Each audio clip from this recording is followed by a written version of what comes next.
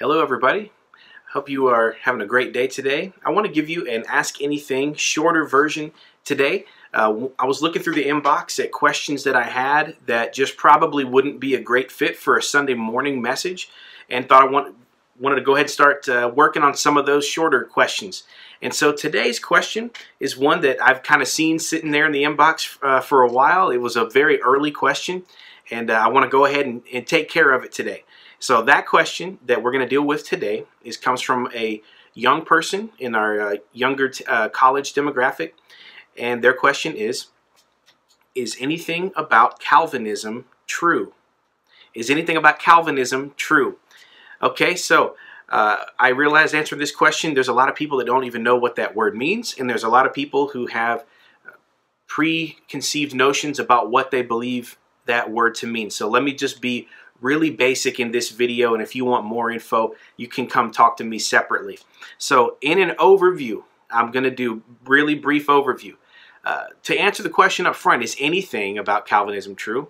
Yes, there is a lot true about Calvinism. So First of all, you need to know Calvinism is not another religion. It's not another denomination.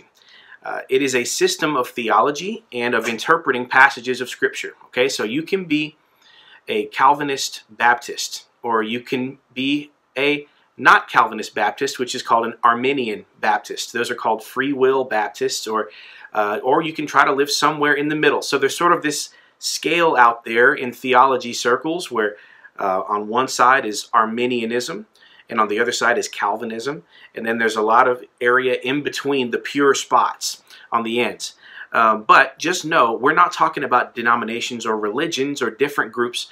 These are ways of thinking that could apply to any Christian, denominational uh, or not. So has nothing to do with that. It's named for a reformer in the in the Reformation era who's sort of second generation named John Calvin. So Martin Luther was first generation. Uh, John Calvin followed him, and uh, again, the opposing view to Calvinism was called Arminianism. And I think, I'm pretty sure that in uh, Jacob Arminius and John Calvin's lives, no one was using those terms. Uh, so it's not like th those groups were even developed at that time by those names. Uh, the discussion between Calvinism and Arminianism, uh, at its minimum, at its most minimum, is trying to answer the question which is more true? Does man seek after God in salvation, or does God seek after man in salvation? Which is more true? Uh, who's pursuing whom?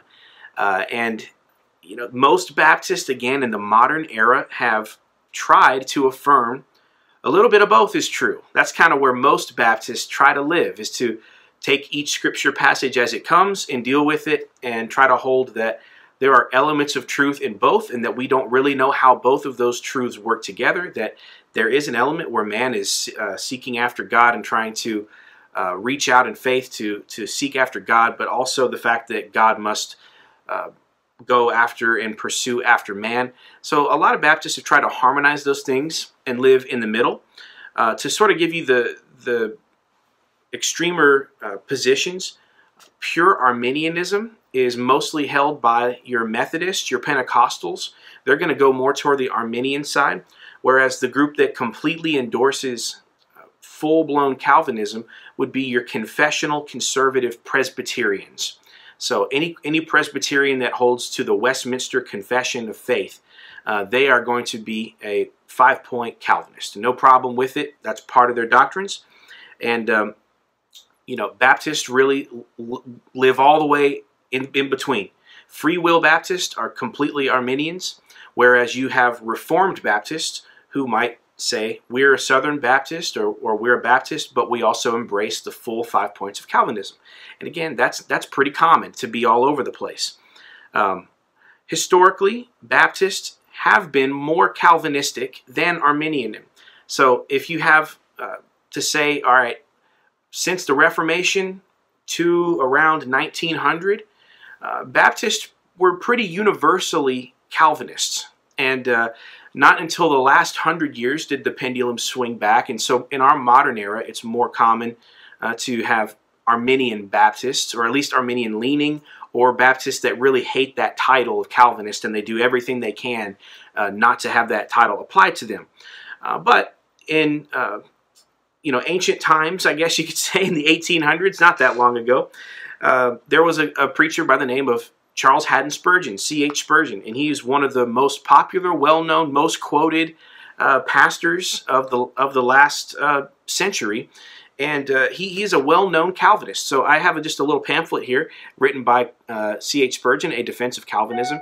So we love Spurgeon. I mean, every every Baptist looks up to Spurgeon. He fought liberalism. He was a conservative, and uh, he fought the downgrade uh, heresy going on at the time. And great guy, full-blown Calvinist. And uh, so I, I, just want you to know, it, if you if you have negative thoughts toward Calvinism, you probably shouldn't.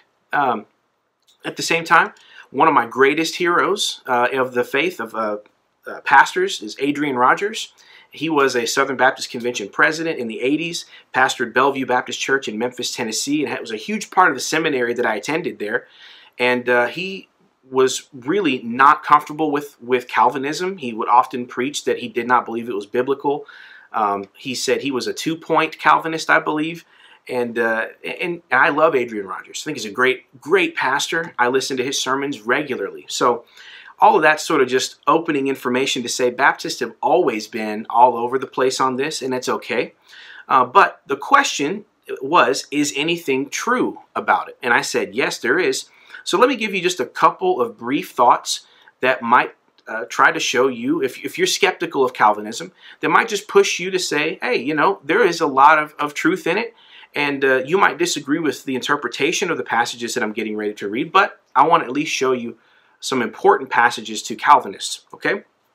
So, um, a few things that Calvinism affirms that I do believe to be true. All right? These are sort of just pulled from my mind. All right? First of all, predestination and election are those are words that that Calvinists use that a lot of people are uncomfortable with.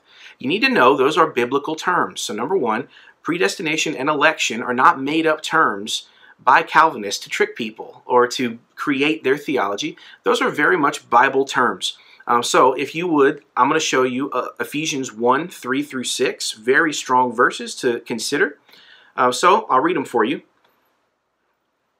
Paul writes, Blessed be the God and Father of our Lord Jesus Christ, who has blessed us in Christ with every spiritual blessing in the heavenly places, even as he chose us in him before the foundation of the world, that we should be holy and blameless before him.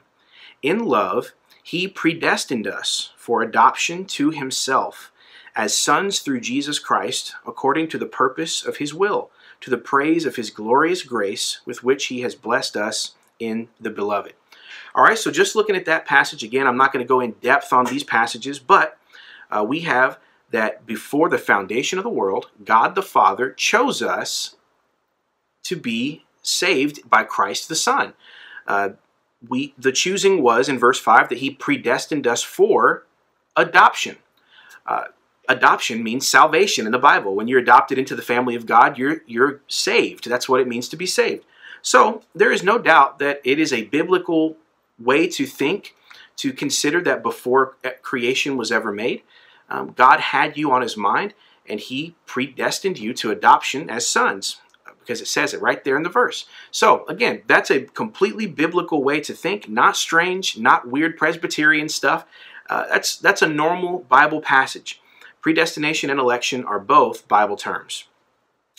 Number two, um, things we can affirm is that man is deeply affected by the fall of Adam man is deeply affected by the fall of Adam. The reason this is a, a concern is one of the debate points is that um, we are basically, uh, Arminians would say we have complete free will, that we are, our will to choose God is untarnished. It is, um, has not been changed or altered in any way. We can freely choose God or we can freely reject God.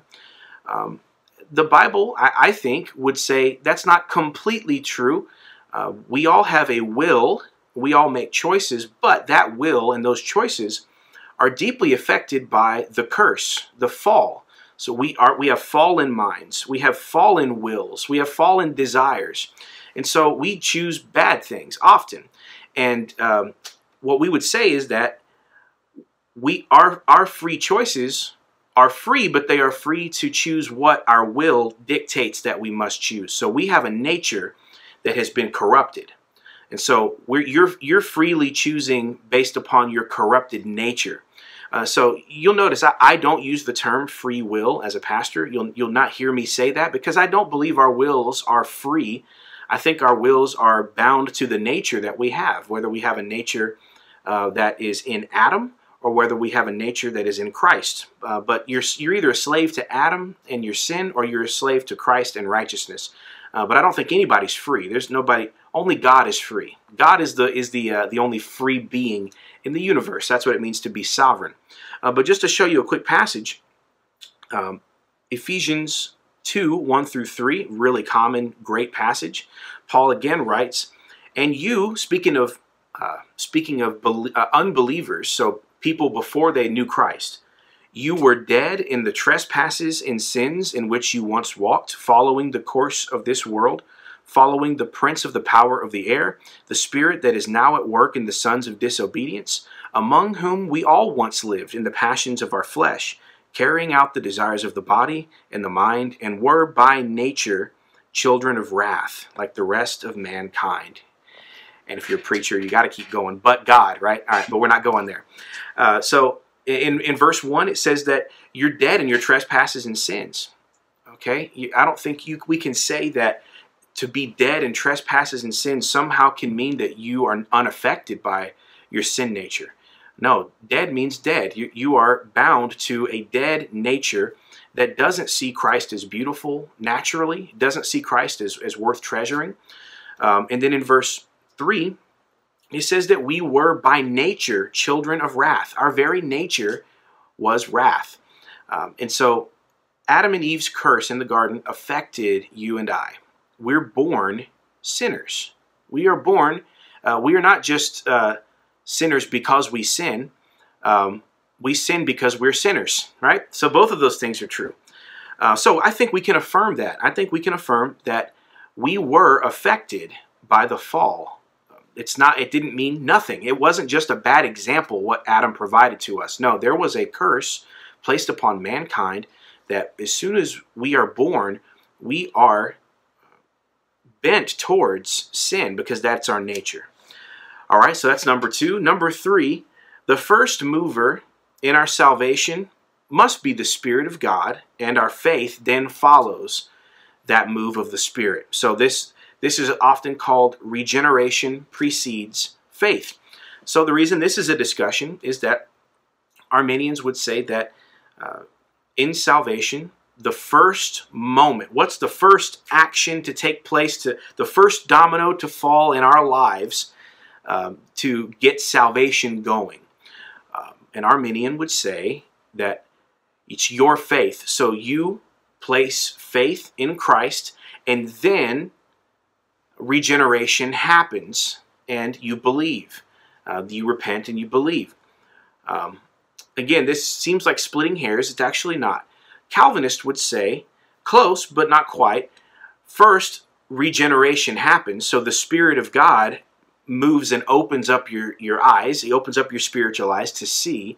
All of a sudden, now you can see, and then you choose God because you're free now. The Spirit of God has enlivened you, He's made you able to see Christ as beautiful, as worthy of uh, your worship. Whereas, whereas without the influence of the Spirit, you were bound to your sin nature. You were a child of wrath, dead to sin. So the Spirit of God, by the way, the Spirit of God always works in tandem with the Word of God, with the presentation of the gospel. So the gospel is preached, or you're reading the scriptures, or someone is explaining this to you, and then in that moment, the Spirit of God applies those things to your heart. Boom! It's like it's like there's a dark room and uh, the Spirit of God goes and turns on the light switch. He takes the, the finger and uh, lifts that switch to the on position. Boom, there's lights on in the room. There was dark before. Now there's light in the room.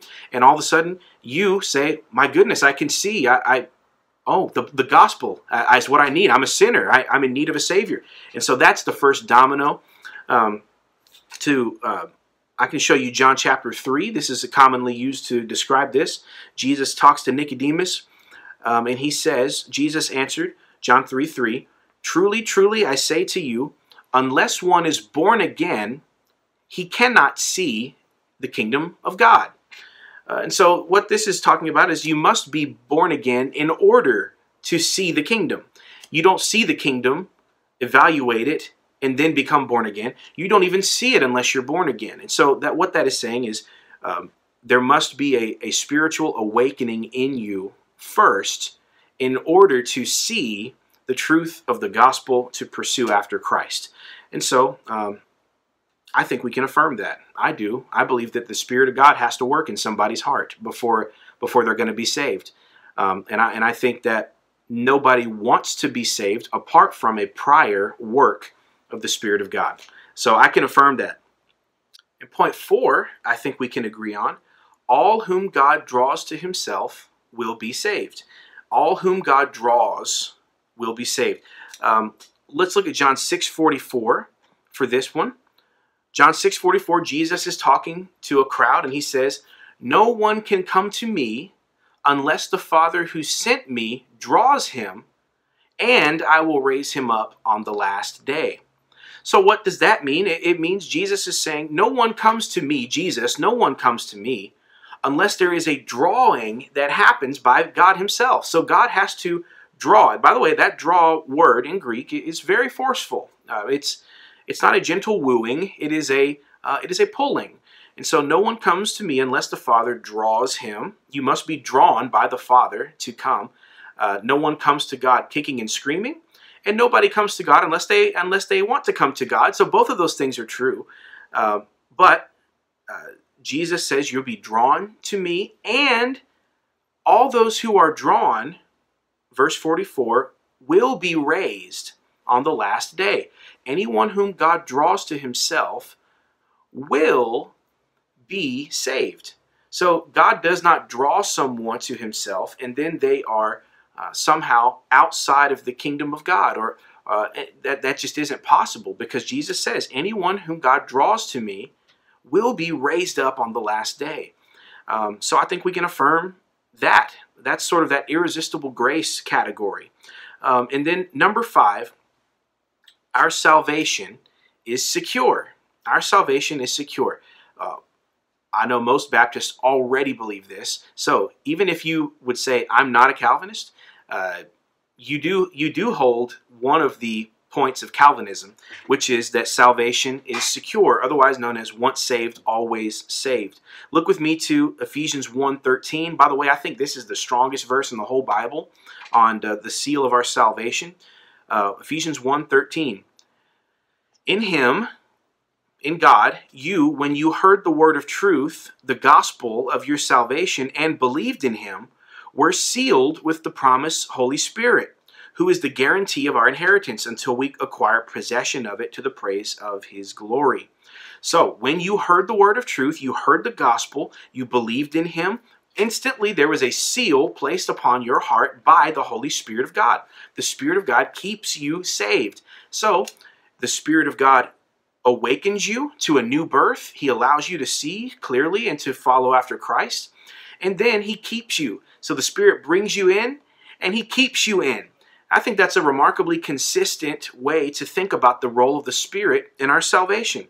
And so eh, it is a it is sort of a Calvinist point to say that all those uh, who are saved will be saved because God has the control to make it so. You can't choose your way out of salvation. If you are truly saved, you will die saved. You will persevere in the faith. Um, and, and so the opposite Arminian point is that obviously that you can lose your salvation. That is an Arminian principle that you can lose your salvation um, because it's really up to you. It's your free will. You can choose it. You can lose it. It's up to you. Uh, and so I would I would deny that that is true, that Arminian point is true, and affirm that our salvation is in fact secure. So taking all of those things, um, I, I think one thing that I would say before I kind of get to my conclusion is that you might hear that and think, well, if God is so much in charge, then where does the witnessing come in? Uh, and that's actually one of the one of the most consistent um, attacks against Calvinists is that, well, there's no need to witness if you there's no need to share the gospel if someone's just going to if God's going to do the work anyway. And I, just so you know, no actual Calvinist thinks that. That's a complete uh, slander. Uh, because I've been on the mission field with people and I've been church planting with people, and I've seen an overrepresentation of people holding to Calvinist theology out doing work in mission in mission work, difficult places, going to share the gospel openly, open air preaching. I mean, I've seen it. I've seen it from people that hold to uh, the doctrines of grace or Calvinism. So, um, I would just say, every Calvinist would say, uh, you use this uh, the Word of God, and the Spirit of God accompanies the preached Word or the Scriptures and uh, he does that work. But our job, is, nonetheless, is to get that word out there as much as possible. Uh, you don't know who God's going to draw to Himself. That's why I can stand up and preach to a crowd, a mixed crowd, every Sunday, and say, "Any who want to come to Christ, come. Any, drink from the the water. The, the water's fine. Come on in." Uh, because at the end of the day, God's going to draw somebody. I'm not. My presentation is just part of it. Uh, I'm hopefully being faithful to the word, but the Spirit of God's got to draw somebody in, and it's not going to be me that does it. And so, which means that it's God that does it. So that actually gives me confidence in my preaching to say, man, just sling it, sling the word out there, and let God let God draw in whom He's going to going to draw. Uh, because if God truly has predestined, as Ephesians one says, uh, I don't know who those people are. I don't know who God's drawing to himself. I'm just a guy. I don't know anything. So I then have to preach the gospel to every breathing person and trust that God's going to do an incredible work in their lives. Uh, and when I hold that's true, I put my head on the pillow at night knowing that it's just up to me to share. It's not up to me to require results or to get down about if people don't respond. Again, that's not up to me. I just have to be faithful to sow the seeds and to share the gospel. Uh, so I think that's pretty much where every Calvinist would would would agree with that statement. Um, so, in conclusion, Baptists have historically tried to live somewhere in the middle. Calvinists uh, really saying that God is in control, God does it, um, God initiates our salvation, um, and Arminians saying that it's really a free choice. Uh, God cannot know what your free decisions are. You are free. God does not um, override anything you think or do. He can't. It's your free will. You, you. That's that's sort of. God is not really inside of your free decisions. Uh, and and so if you're going to make me choose between those two things, I'm gonna I'm gonna click toward the Calvinist side because I just think the scripture routinely presents God as being more in control than me and having control over, yes, even my thoughts and my will and my mind and my decisions. Um, so I'm going to go with the, the sovereign monarch of the universe being the king of my salvation. Uh, and again, that doesn't get me out of doing any work of the gospel. Um, and, I would, you know, one thing I've always said is I think more people are Calvinists than they want to um, own up to because we pray like we're Calvinists, don't we? When you when you sit down to pray, you probably pray something like this, Lord, would you open the hearts and the eyes of those who need to see your truth? Lord, would you save this person? And you know, you don't want to you don't pray, God, would you as long as this person chooses you, choose them. We don't pray like that because you you intuitively know that God has power and authority to change somebody's heart. You know that. And so, uh, again, that's why most Baptists historically have, have sided with the Calvinist side. Uh, where we are in history right now, most Baptists really don't want either title. And they try to live in the middle and just say, we, we're going to go with whatever the Bible says that day in front of us. We're going to preach that passage uh, and try to be and harmonize all these things. So, um, if you made me choose, I would say, yeah, out of those two options of Calvinist and Arminian, sure, I'm a Calvinist. I, don't have any problem choosing. I'll, I'll, I'll get on Team Spurgeon if I have to, if you make me choose. Uh, also, John MacArthur, a great pastor I listen to, is a, is a Calvinist. John Piper is a well known uh, Calvinist, David Platt, who was the president of the IMB a couple years ago, author, Calvinist. I mean, it, it's extremely more, more common than you might think. Um, and especially amongst young young guys, there's kind of been a wave that's gone through. Um, but there are so many definitions and caveats. I don't openly go around uh, sharing that because most people don't know uh, what those words mean. They don't give you the benefit of the doubt of a discussion and explaining your position.